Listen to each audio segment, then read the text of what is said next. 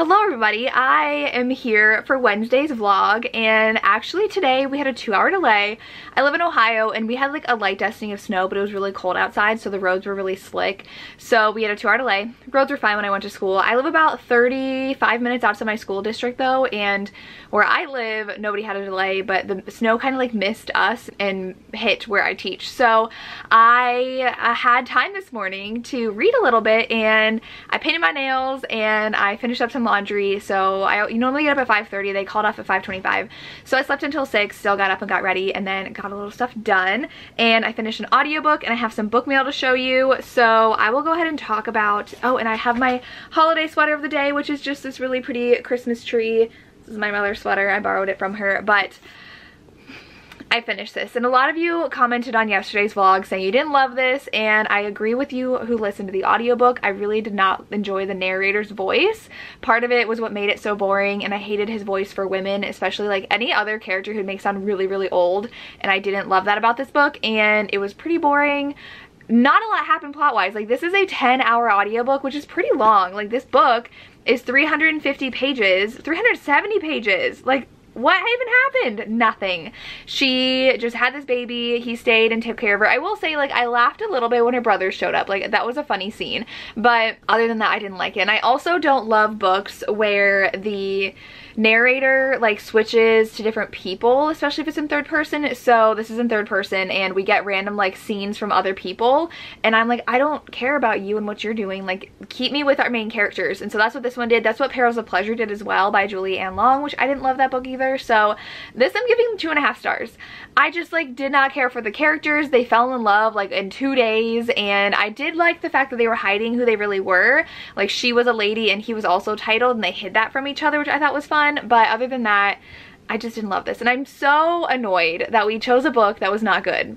And you obviously don't know, like none of us have read it. We just looked at Goodreads reviews. It had decent reviews. So that's why we chose this one. It was snowed in together, hiding your like social class, but it just like was not the best. So I'm sad. And I'm sorry if you read this because of us. I feel like I should have done what Rachel from Rachel Reads and Sings and just DNF'd it at 25%, but I stuck it out. I wanted, I feel like as a host I should read our book, so I stuck it out. But I'm happy to report I'm reading two books next. I have a physical book and an audiobook and I'm loving them. So first one that I'm obsessed with, I'm gonna gush about this book. I love Kate Bateman. I love the first two books in the series. I read physically the first one, listened to the second one on audio. My library does not have this third book on audio, so I'm physically reading it, but oh my goodness. I told you they meet at a brothel and he's like, I want you, I'll give you 500 pounds, like spend the night with me. And she's like, no but they kiss and she's really intrigued. And it just so happens she is like a companion for this older woman and she loves her job. And a guy from her past is in town and like looking for her as a lost princess. And he was vile. He was disgusting. And so she doesn't want to be found by him. And our hero is a bow street runner but he also is the nephew I think of her the person she's a companion for. And so they're on their way I think to Edinburgh for a couple weeks.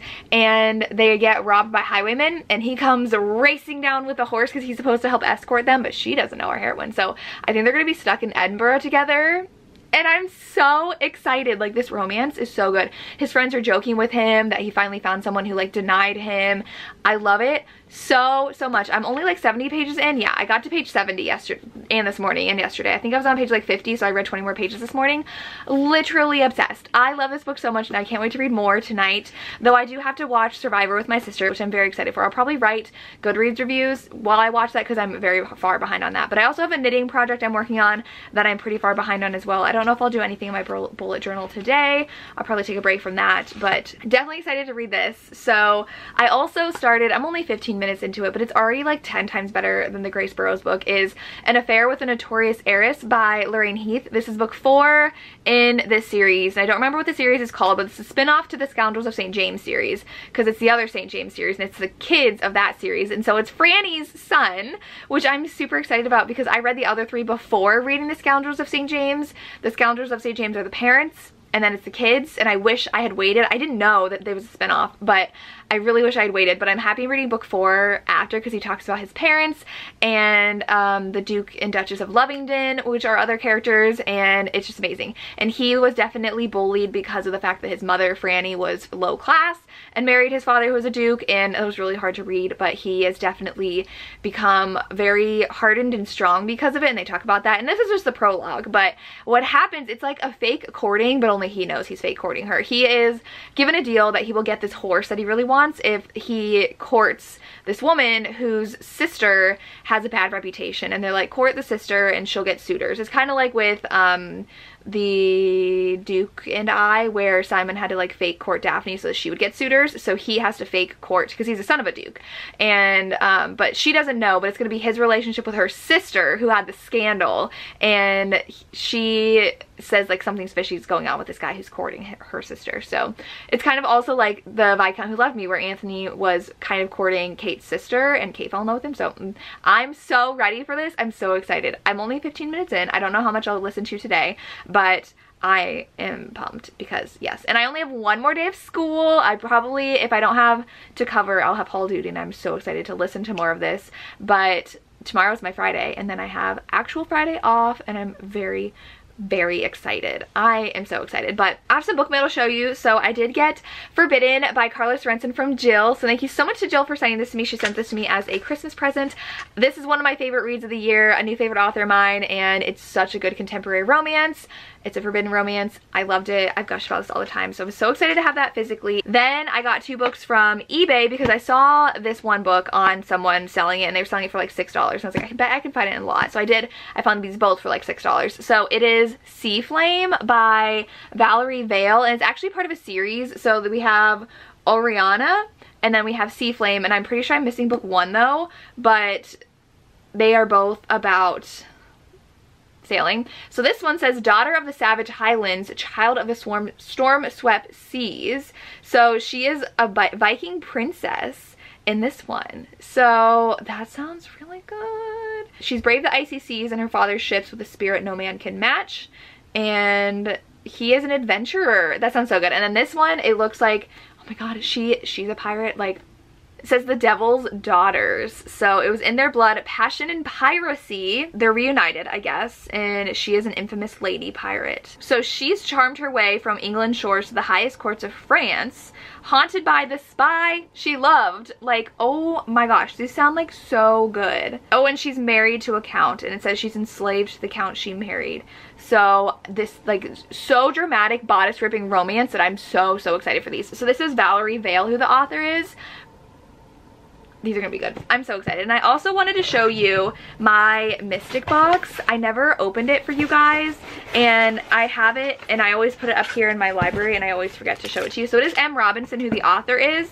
And so the pin is like ballet shoes and it says El Diablo's Cariño, which I'm assuming is from, sorry, my accent is awful for that Spanish. But this is, um, the pin is always from a book and it always comes with like a little art booklet. So this is the art booklet for her and oh it actually has a like graphic novel in here. So we have the art and then it's showing that and that goes on for a few pages. That's really cool. Oh and then it has a Q&A with the author. I don't remember them having like all of this stuff in here. Cool. And then it says what she's currently reading listening to watching celebrating that's fun. I thought it was usually just photos, so that's really cool. And then the books are always hardback. I was sent this by them for free because I'm a rep for Mystic Box. The two books are always hardback and it doesn't come with anything except for the books and the booklet and a pin. So the two, oh, that's so pretty. The two books, okay, yeah, we have El Diablo, which is this one, and they come wrapped now, which is really nice. And then we have Sinful Arrangement, and it's this one. So definitely the skull theme. We got black with gold, super pretty. They have done Penelope Douglas before too, which is amazing. I'd love them to do Giana Darling, but these are so, so pretty. That's super exciting. And I believe they're both signed as well. This one's really fun because it's like a king and queen. I have not read these, but I'm excited to try out M. Robinson and have these really, really gorgeous special editions. So I wanted to show you guys that because I haven't gotten around to showing them on social media yet. So I'm excited to have those. I also just did stop by CVS because if you didn't know, CVS like hands out 40% off coupons like candy. Like once a week I get one. So last week I went and got pens for myself and this week I went and got pens for my coworker as part of her Christmas gift. I did end up ordering the Bridge Kingdom and then I'm giving her a set of pens. They're like Bic no smear pens. She's a lefty and so I think they'll be nice for her. And yeah, I think that's all I had to share with you guys. I did end up doing a Q&A on Instagram where I asked you guys questions you wanted me to answer during these because I wanted to give you a little bit more detail because I feel like yesterday's was pretty short because I was exhausted yesterday, but also because I didn't have a lot of content to share with you. So I did ask and got some questions. So maybe a little later I'll go through some of the questions and answer them just to make this a little more interesting. Some asked about my skincare routine and I will say I have just been really lucky to have really good skin. My sister has goes to dermatologist. Like she has had not the best skin growing up. We're twins. And I just so happen to not have any problems. And I do get bumpy skin sometimes but I rarely get a pimple. And if I do it never like becomes a thing. It just like goes away. But I will show you the stuff in my bathroom I can of what I use at night my face wash and like all the serums I put on. I don't put on like a ton. And I'm not like a professional so if I do something wrong I'm sorry. But I can show you guys my bathroom if you want me to. I am a little not embarrassed but like self-conscious sometimes of showing my house because I'm so thankful that I'm successful enough to be able to live in a house on my own and afford it with my sister. But it's not like aesthetically pleasing. There's so many people on Instagram and on YouTube who have just these super nice houses that are so nicely decorated and have an aesthetic. They're like super white and nice and like I can't do that. First of all, if I had any white furniture, my dogs would ruin it within like two seconds. They get muddy all the time and they go they love going outside and playing and it's just like no, I and I'm messy. I spill on my the tablecloth the minute my sister puts a new one on the table. Like she will change out sometimes the placemats because she likes to change things in the house and I'll always spill on it. It's my dad's fault. I got it from my dad. He spills all the time. But I just feel like my house isn't like something to show off. I'm always a little self-conscious that like my stuff is not as nice and aesthetically pleasing and put together. I'm just a normal person who works all the time and has this as my second job that I don't have time to make everything pristine and be like a home decorator. So not everything is like organized like that. Like my family room I feel like is just like a normal family room, not something that's like should be in a magazine. But I feel like a lot of people on social media show that and I'm like I shouldn't show my house because it's not like a social media house, if that makes sense. I don't know, I just I just feel weird. But I wanted to share that with you guys because it's a realistic look at someone who is an influencer, I guess. I don't consider myself an influencer, but I am on social media and I just feel like I'm a normal person and I feel like self-conscious like I'm not having as like gorgeous of a home as other people do because that's not where I put my like time, attention, and money into, if that makes sense. I just thought I'd share that as a realistic look at someone who does share their life online, but my sister's gonna make some delicious tortellini soup. It's my favorite. We had it for the first time like a month ago and it was amazing so I'll probably help her make dinner and check my emails and then read some and of course watch Survivor with her. I don't know if she'll want to watch another show but yeah and later on I'll answer some questions. I didn't get too too many but I'm just excited to share more with you and have my last day of school tomorrow so I still have half of this readathon left and I've been reading amazing books finally like I got to my first five star read yesterday, but that was my fourth book. So, was it my third book? Might have been my third book. I think I've read four now, which it's just disappointing when I read a two-star read and I'm filming it and I'm just like, it's not good. I don't like sharing about books I don't love, but the fact that I can gush to you about this makes me happy. And that Lorraine Heath, I think I might, I do own it, so I'll have to get that so I can show it to you guys when I talk about it. But I'm gonna go, I've already been talking for way too long, and help my sister with dinner, and then talk to you guys later. Welcome to my bathroom. So I'm to show you some of the things that I use. This is just how everything looks. So over here, my actually this is what I use in my hair. I spray it with this heat protectant. I don't even know, Redken heat protectant. And then I use Curlsmith. I used to use this and it has like barely anything left. So I use this and then I have a little bit of this in there and that's what I do with my hair every morning with my electric toothbrush. So first I use this. It's I love this to take off my makeup. It's just like a not foam, but like soapy kind of feeling thing and it takes all my makeup off. I love it so much. I got the big bottle from Amazon because small bottles don't do it. And then after washing with that, I do wash with Vanicream I wash that in the shower too, so I have both in the shower and there. Oh, this is the sunscreen I use to run. I know it's super expensive. My sister bought it for me um, because she's like super into face care and sunscreen and stuff. And I have this sunscreen as well, which is like a daily sunscreen. I don't really use it in the winter. Um, then after those two though, I go in with this take off like any excess makeup I did not catch. And then sometimes I saw this trick, so I had like really bumpy skin on my forehead and my cheeks. So they said dandruff shampoo actually helped with that. So that's why I have that um, to put on my face, which I use that occasionally if I ever have textured skin. And then I put this on, which is my CeraVe retinol serum. And then, oh, this is just full of my, this stuff for when I travel. That stays there. And then I use this CeraVe um, SA cream. Again, my only thing is that I get textured skin, so that's what that is for. And then my all-time favorite, cap it all off, is this. You can see I've used almost all of it. It's my Laneige Lip Sleepy Mask, which I actually have I have like some skincare stuff that I don't totally use anymore, so that's why there's all these like little bottles. I it out. These three I bought in a set. So we got this, which is literally the same thing as that.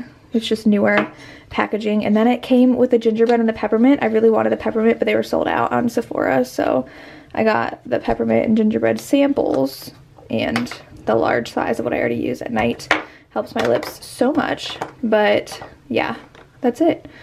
I don't think you care about what I use for my toothpaste. And then I have floss and that's really it. Oh, I do really enjoy this scrub that I'll use occasionally. Um, it just makes my skin feel super soft after using it. So yeah, that's really all I do. Everything in here. So I hope you enjoyed that little walkthrough of my face routine. So we just finished watching 911 and this is the scarf that I'm working on knitting. It's a super easy pattern that I've made a few times. So this is just to keep the stitches in place so that I can bind off and, well not bind off, but like take it out and then stitch this side to the other side.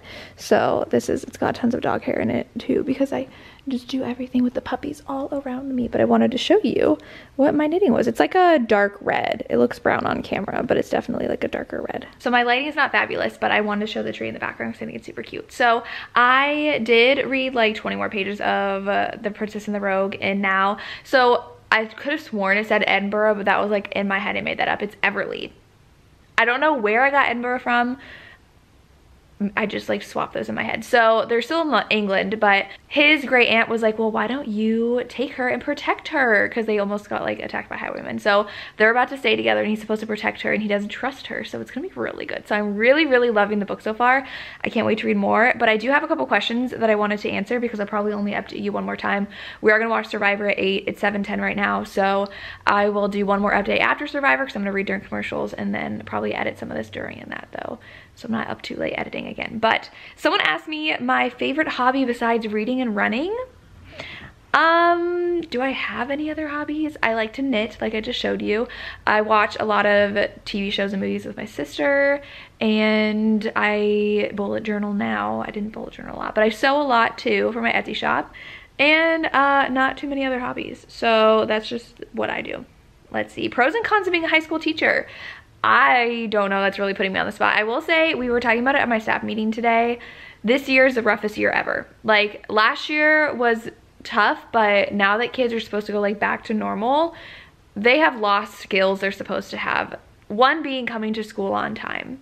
It is so hard with tardies this year because kids don't know like timeliness and the fact that things need to get done on time. Like I've had the most late papers ever because they were used to two years of being online, doing things at your own convenience, turning it in whenever and we were a lot more lenient. And so that's kind of set a precedent that they think is still happening. Like how many kids don't do well on a quiz? I'm like well I can retake it right? And I'm like no it was your quiz. Like you knew when it was and you knew when to study for it. Like that's how school works. And so um, it's really hard this year. I definitely have seen it and it's been the year that I was the least excited to start the school year for, which never happened. It's my seventh year and I'm always super excited when the school year comes around and I just was not excited to go back to work this year. I did when I saw the kids, like I was super excited when they came in for open house and like I get excited about teaching them, but just, I don't, it's hard to explain without being a teacher yourself to understand it. So I do think that I love the 45 minute periods. I don't know how elementary school teachers do it. I love seeing my kids for 45 minutes and like rotating kids throughout the day. They are high schoolers though, so you gotta deal with that. So I don't know like really how to answer this question. I chose high school for a reason because like I like high schoolers and I love that age and I'm not teaching like the fundamental things. I don't know how elementary school teachers do it. Middle school is just an awkward age so I love high school but it I will say it's like really hard to be a teacher right now. I've seen so many teachers quitting from TikTok and I get why they're fed up. I mean I'm lucky enough that my kids aren't that bad. They are definitely a lot more hard to rein in than any other year, especially last year. My kids were fabulous. They just like listened so well, got everything done so well, did so well on their test. Like that was my highest test scores I've had was my last year of teaching this past year. So this year I'm super worried about their scores. They're a lot lower than what I've had. I do teach, um, I'm talking about my enriched kids. They're like probably the lowest I've ever had because they've had two years of not full on genuine instruction, even though we were in person most of last year it was still a lot of them weren't actually in school. A lot of them could choose to be online so some of them were. So yeah i don't even know where i was going with that but that's my answer to that question. How did i get into reading? I've always been a reader. My mother always took us to the library. We read so much growing up and i've just always been a reader like since elementary school. I've loved it. So i've always bring a books with me. Even like in high school i'd bring a book with me and i remember i don't remember if it was ninth grade or if it was middle school. I would like literally read during lunch because i was sitting with a group i think this was middle school. I had a group of friends that i like liked enough, but like we weren't super close that I ate lunch with and I just sat with my book and read. So I've always been a reader. Someone did ask, what do you listen to your audiobooks with speed? I do three times speed. I talk fast.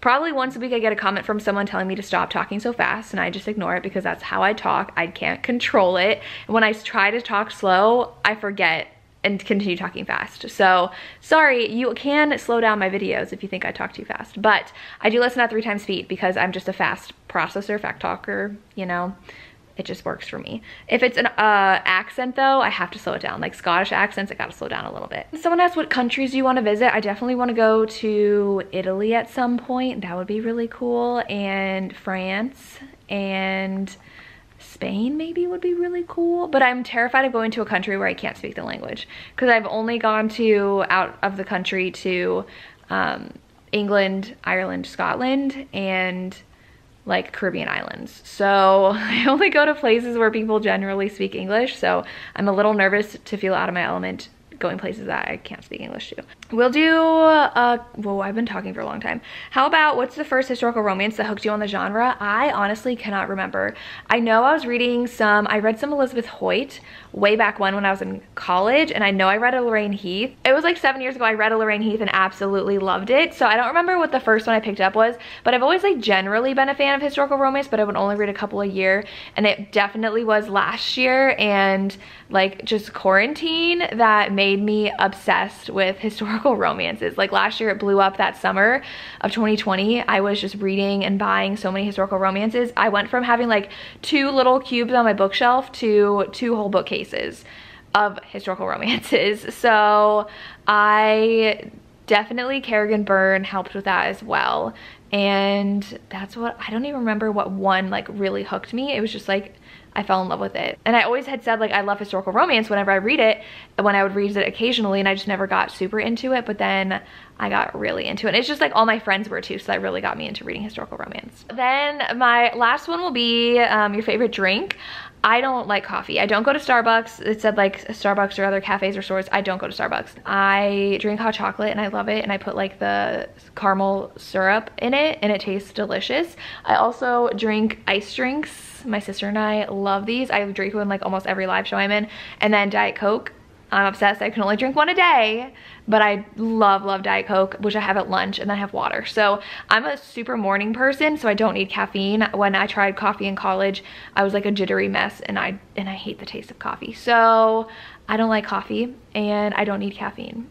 So yeah, my favorite drink is definitely Diet Coke, but I love these and what I say, water and hot chocolate. So those are my drink choices. But okay, I'm gonna stop there and I will continue on these questions in my later videos. But I'm gonna go get to reading and watch some Survivor, maybe talk to you about who my favorites are.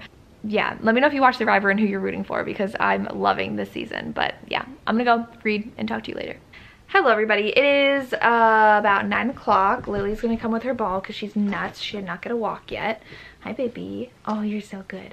And so um, I need to wrap this up. I did finish editing everything else, so this is the last thing I need to edit. But I read about 30 more pages and it's still so good. She's staying with him and she's helping him like translate stuff and there's definitely tension between them and I'm loving it so much. I am so excited. I'll probably finish this tomorrow if I can.